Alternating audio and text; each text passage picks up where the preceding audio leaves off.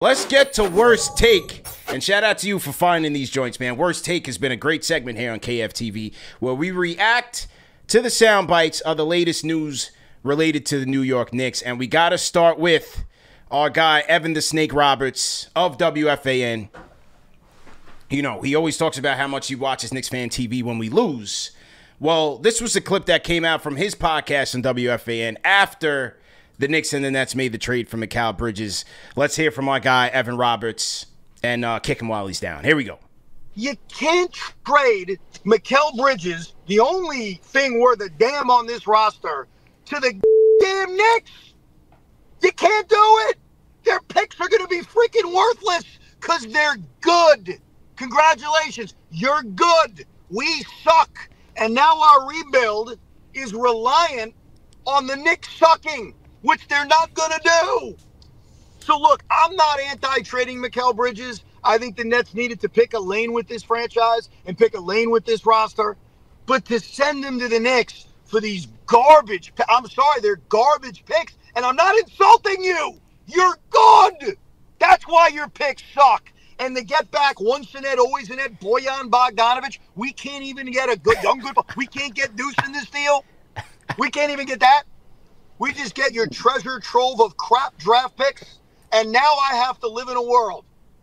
You think the Nets were irrelevant 10 minutes ago. I got to live in a world in which that phony, and he is a damn phony, Mikal Bridges. He is the opposite of a leader. You saw it. You could tell. I called this out a few months ago. He's a follower. He's a Knick because he got bullied by Josh Hart. That's why he's a Knick. I got bullied. Oh, it made me feel bad about myself. If you have balls and you're a leader, and you think you're as good as you are, you lead this team to something other than the garbage 37 35 wins they had last year. Less than that. I think it was less than that. I, I mean, what do you expect a guy to do? He's playing with a band of bums. You expect Mikal to go out there, put it, put his durability on the line, put his prime on the line for the garbage New Jersey Nets? Come on, man. He wanted to be a Knick from draft day. They finally made it happen six years later. All his brothers are over here. He did the right thing, man. And the Nets did right by him, JD, man. Come on, bro. I mean, Evan, the first thing I want to ask you were, were you really driving? Right. Because I don't. I, I, mean, if you were, were you in the Hamptons? I didn't see no buildings. I didn't see yeah. no lights changing. I didn't see nothing. Like no clouds. Nothing. Like, and the, the, but the wheel was moving. Right. The wheel was real. Was he at Dave and Buster's or something, or, or, was he legitimately in his car? Like, where was he going, bro? Like he was so mad. He's, uh, I'm, I'm just in his own world. He thinks he's driving. Uh, going so going nowhere like the Nets. You're gonna need to clarify that, Evan. uh, how about this? I actually think that might not be a bad take. no, no, not a bad one. because, because it, you know, in actuality, he's talking about the, you know, he's frustrated about the the value of the picks, which he believes won't be any good because obviously he's contingent on the Knicks' uh, record during those seasons. So he fully expects the Knicks, because of the core that they have in their late twenties, to be good for for you know a long time, at least four to five years, and and then even he even mentioned Deuce.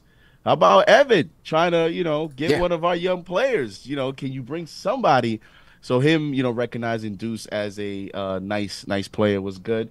And listen, he he criticized Mikal, but is Mikal even going to get booed when we're at the Barclays? Right. It, will be all Knicks fans in there, so he'll get a standing ovation.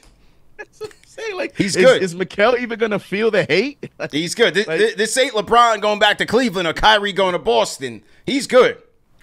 So if I had to, you know, rank it, I would say from a Knicks standpoint, um, it's a good take from a Nets. Yeah. Listen, man, uh, that's that's it's it's not gonna be good for.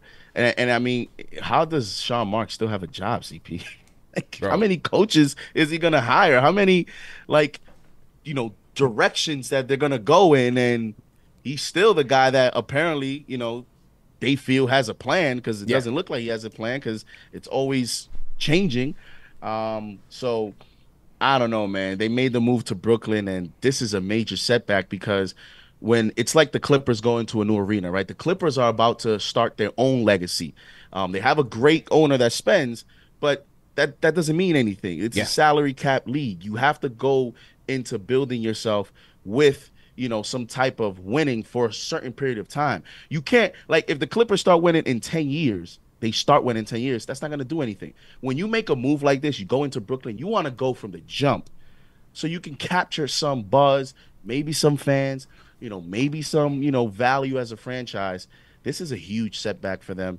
Um, but if you're the Knicks, you know, I ain't worried about it. Yeah, I ain't worried. But it, has been oh, setback after setback, right? Remember when they thought they had the super team when they brought Paul Pierce and KG over here, Jason Kidd? Oh my God, flopped. They brought in KD and Kyrie. I thought this was going to be the changing of the guard. Kept James Harden, flopped. Mikal Bridges, flopped. Hey man, if you're a Nets fan, Cash in those season tickets to come to the Garden, baby. This, this is a one-team town. Shout out to Evan Roberts. He's on right now with Tiki. Right now, probably crying somewhere. Shout out to Lansky TV. Um, but yeah, that that's their problem, man. We'll, we'll we'll worry about what we got going on. All right, here's the other one that we need to react to, and this is for I didn't even hear this one. This is fresh, but this is from the Maggie and Perloff show, also on the Audacy app uh, and uh, and CBS Radio, and this was Andrew Perloff saying that basically he's not uh, he's not too impressed with this Knicks deal. So let's see what let's see hear what he had to say and let's react to it. Here we go.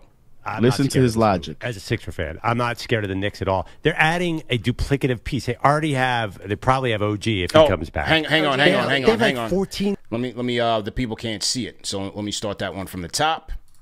Okay, here we go. Here we go.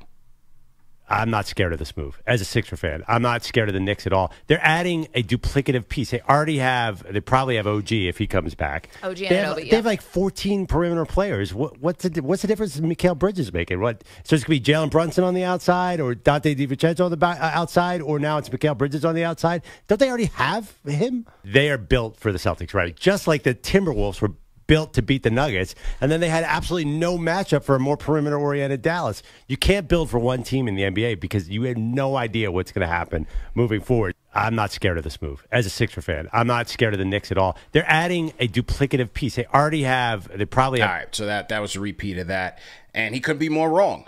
And it's no what wonder that he's a Sixer fan. He, he couldn't be more wrong.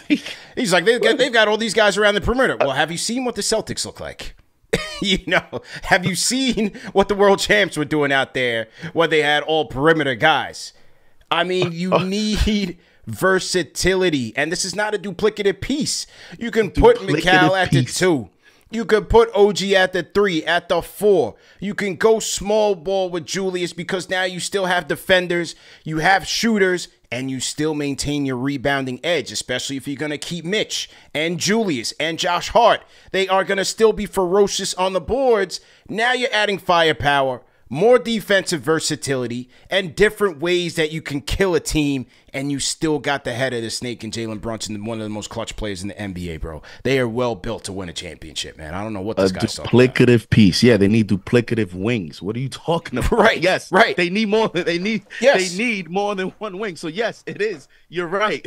That's what they actually need. First of all, um, maybe I missed the memo, but the way he was talking, it looked like the Sixers are going to be the defending champ. right. He goes he goes from, you know, they have a duplicative piece and this and that. Oh, the Knicks are built to beat the Celtics. That's what we want to do. That yeah. they're the champs. Yes. Yes, if you're saying we're, we're built now to to challenge the Celtics, that means we are executing the game plan. They're the champions and they're the number one team in the East. What are you talking about? The Sixers are the ones that may get a 35 year old wing, and he may not be enough. How about the Sixers may need duplicative wings yourselves? What are you talking about? They don't have anyone right now. And in in in fact, the Knicks getting Mikal Bridges actually now puts pressure on the Milwaukee Bucks of the world, on yeah. the Philadelphia 76ers of the world, because sometimes it's kind of when the Yankees and the Red Sox era, when when the Yankees made a move, the Red Sox had to respond. When the Red Sox had made a move, the Yankees had to respond. When the Knicks, with the Knicks making this move, if they do in fact re-sign OG Anunoby, you don't think the Sixers and Daryl Morey are going to be like, well, this team just beat us. Um, right. They were a little banged up. Yes, we were too. But can we go into a series next year against the Knicks with Tobias Harris at, at the three? No, you cannot. If you're the Milwaukee Bucks, who how how they're going to improve their defense? Yeah, that that's been their biggest weakness. So you make moves, and sometimes you're able to actually dictate what the other front office does, and by doing that, you put pressure on them to potentially make a move, have a knee jerk reaction move, make a you know a move that maybe they wouldn't do on a normal season, but because they have pressure during this offseason, now they're looking at all these 35 year olds and just trying to pick, well, is it going to be Jimmy? Is it going to be Paul George? Is it going to be, you know, Kevin Durant? Like th- they have pressure. And I think that helps the Knicks because any of those experiments fail, like you mentioned, uh, CP, they get Paul George and then Beads hurt. you think Paul George wants to be in a situation where he's the number one option? Exactly. No. So exactly the Knicks making this move actually adds competition, but it helps them from a front office standpoint over the uh, other contenders in the East.